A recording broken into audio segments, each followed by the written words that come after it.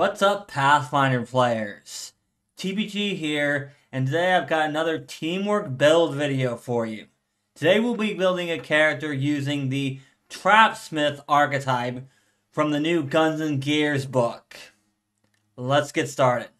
This build is all about snares, so the perfect ancestry for this build is the Kobold. Kobolds have access to a lot of really good feats for traps and snares. So we're going to be taking those. For our heritage, we're going to be picking up the Cavern Kobold. If we're climbing natural stone features, we move at half speed on a success and full speed on a critical success. But not if we're using a climb speed. Also, if we roll a success on acrobatics to squeeze, then we get a critical success instead. This will allow us to put snares in places that people wouldn't think there'd be snares. For our first ancestry feat, we want to take Snare Setter.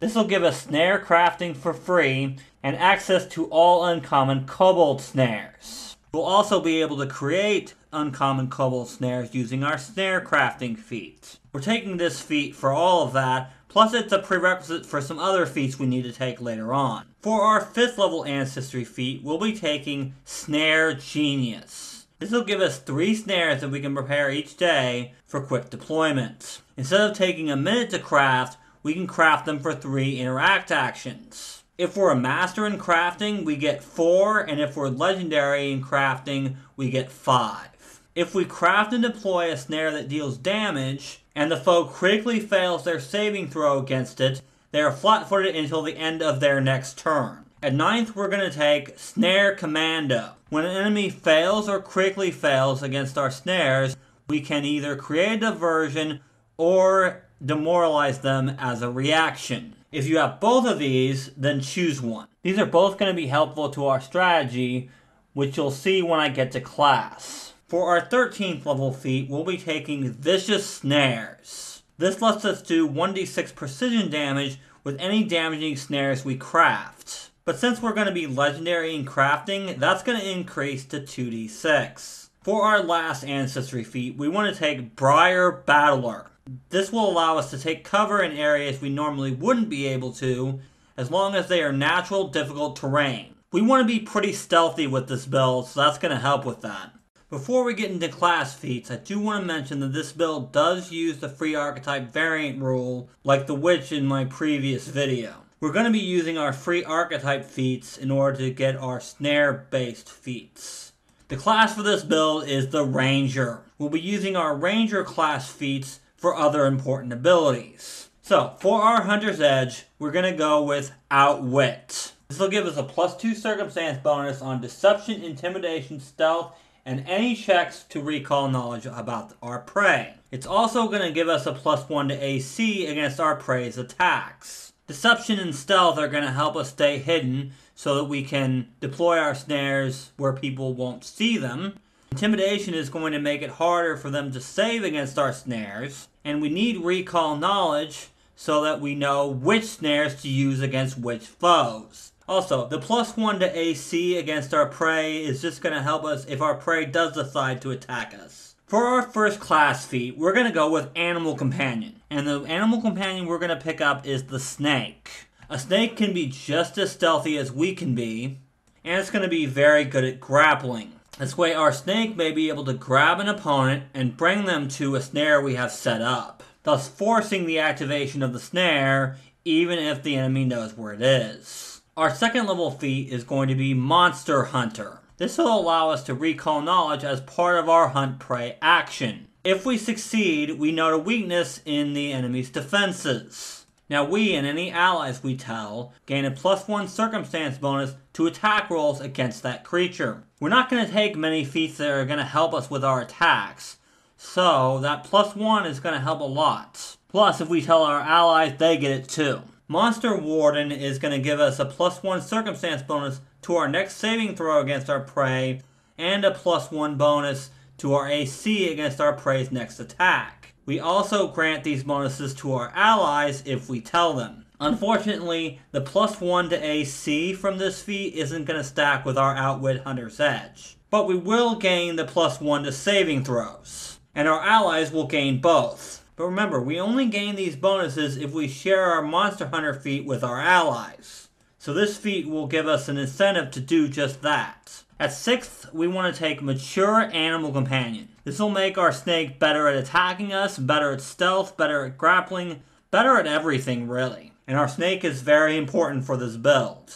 Not so much that we want to spend all our feats on it, but enough that we want to spend at least one more feat after this on it. Next we want to take Warden's Boon. This will allow us to give our allies the bonuses from our Hunt Prey action and our Hunter's Edge Outwit for one round. The bonuses from our Hunter's Edge Outwit are good for us, but now we can give them to our party members and they're just as good for them. Now we want to take Incredible Companion at 10th. This will make our animal companion a nimble or a savage companion. We want to make our snake a savage companion because that'll increase its strength. It will also increase its athletics to expert, which will help us grapple people. At 12th, we want to pick up double prey. Now we can pick two creatures as prey. This is going to help us when we need to demoralize two enemies at once. This feat and Warden's Boon are also prerequisites for a feat we're going to take next at 14th.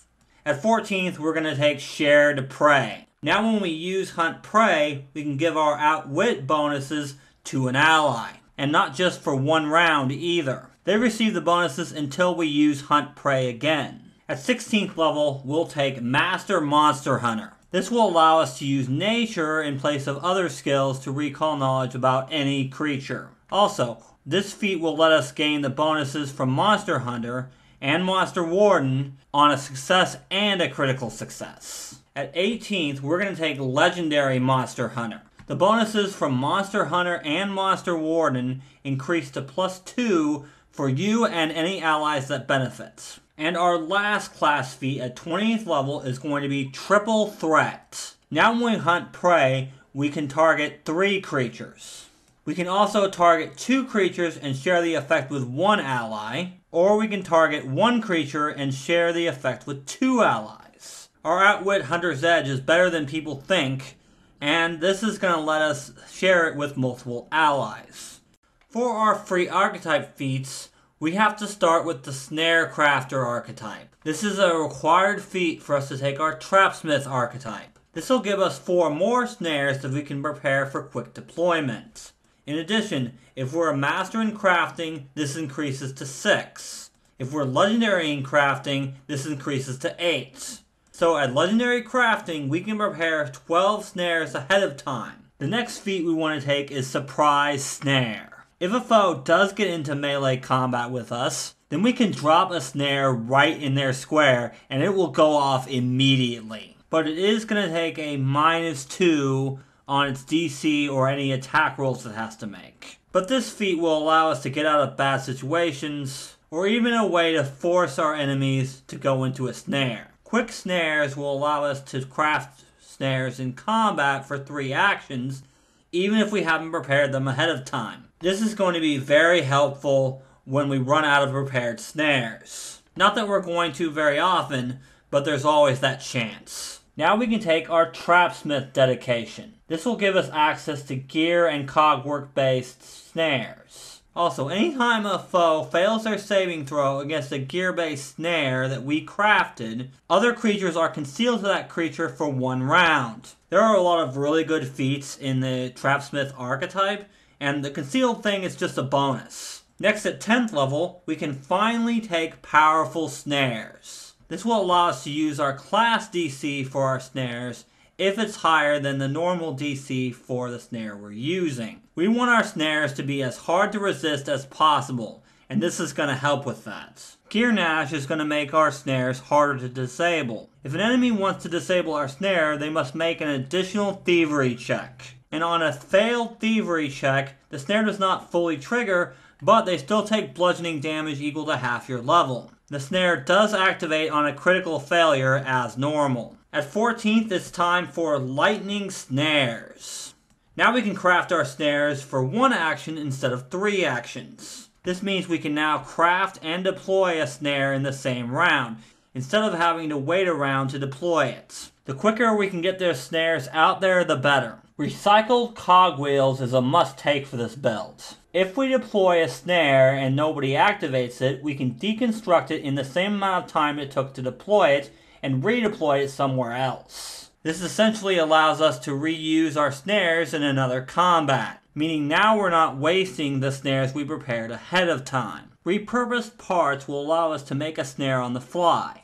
We can combine the parts of two different snares to make a whole new snare even if we haven't prepared it ahead of time and we can deploy it in the same round. We do have to use two of our prepared snares to do this, but this is a good way to make a snare that we don't have ready at the moment, and deploy it as part of the same action. Okay, our last free archetype feat is going to be Finessed Features. With this feat, when we craft a snare using gears, we can make it so that only certain creatures trigger it. This must be based on some visual feature. This can be anything from red clothing to large or larger creature. Anyway, if we set this up right, our allies will never trigger our gear-based snares. This means that they don't have to move around the snares anymore and can move from the, through their space with no problem whatsoever. And dumb enemies might even move into the square thinking the trap is a dud. Either way, this is a must-take feat for this build, and you might even want to take it sooner. It is a 12th level feat, so you won't be able to take it until then, however.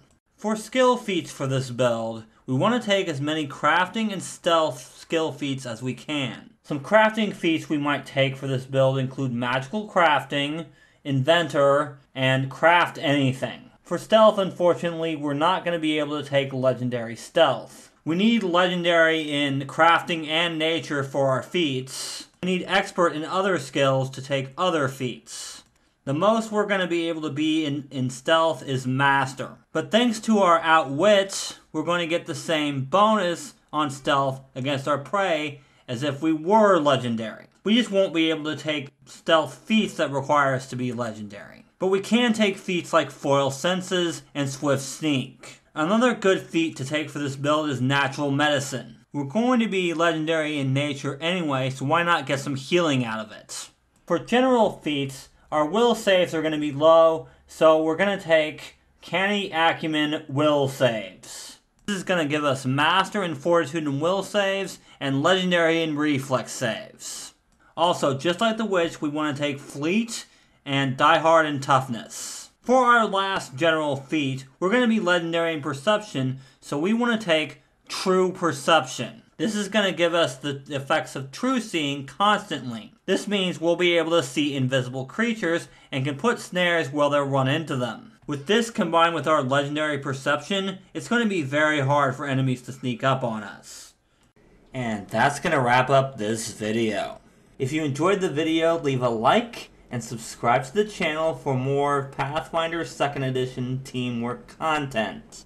You can also check me out on Facebook and on Twitter. But if you really want to support me and get a cool character sheet for this build at the same time, you can pledge to me on Patreon at Team Leader or higher. Thank you guys so much for watching, and until next time, teamwork is vital.